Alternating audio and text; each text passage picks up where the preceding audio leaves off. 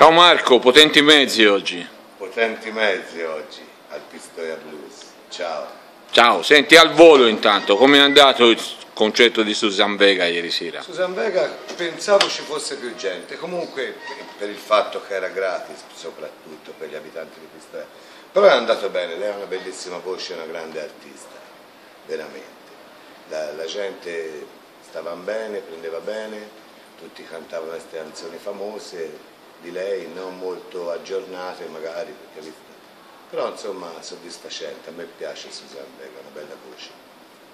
Peccato non si sia riempita la piazza, forse se lo meritava. Se lo meritava, sì, comunque c'era gente, eh? non come mi sarei aspettato, però forse anche perché c'era Bobo Rondelli qua vicino che aveva fatto gratis, aveva fatto una serata ieri sera, era stata rinviata due volte, insomma è andata così. Senti, di altro che ci racconti?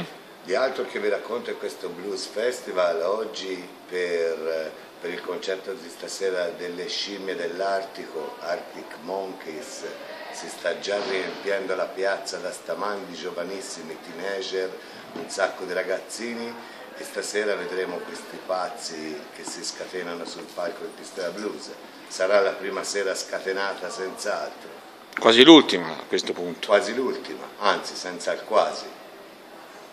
Senti, poi domani oltre a raccontarci questo concetto comincerai anche a fare un bilancio finale di questo eh, festival. Farò un bilancio finale, tra l'altro domani vado a suonare in Sardegna al Reggae Fest di Fort Don Janus e sicché sarà l'ultima puntata di questo breve, breve, viaggio nel Pistoia Blues Festival.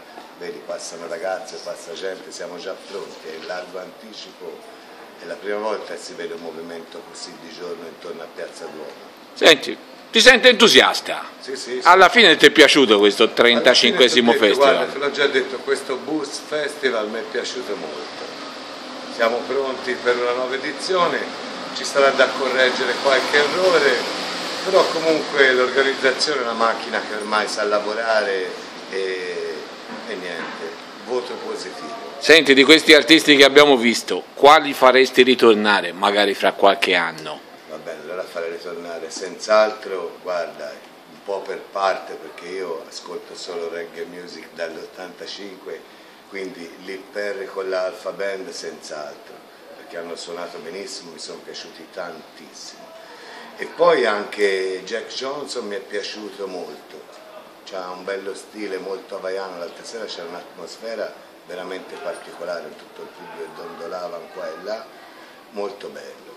Poi per il resto, vabbè, Robert Plant ormai è un mostro sacro, nulla da dire, anche se come avevo già detto ha fatto uno show un po' diverso, però belli, sì. Mi piacerebbe vedere Damian Marley a me, uno dei figli di Bob Marley che veramente, ora come ora, secondo me è l'artista numero uno nel mondo.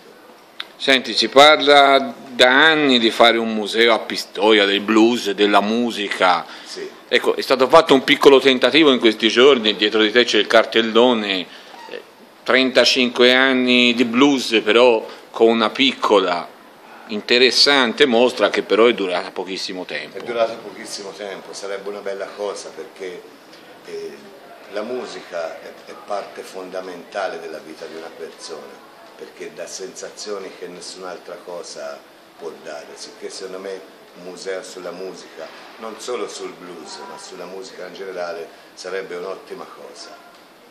E poi sai che Pistoia ha un'immagine nel mondo molto accreditata per la musica, eh? cioè nel mondo penso ne siamo intenditori. Sì, sì, eh, siamo partiti con gli organi. Siamo partiti con gli organi e siamo finiti con l'armonica. Perfetto.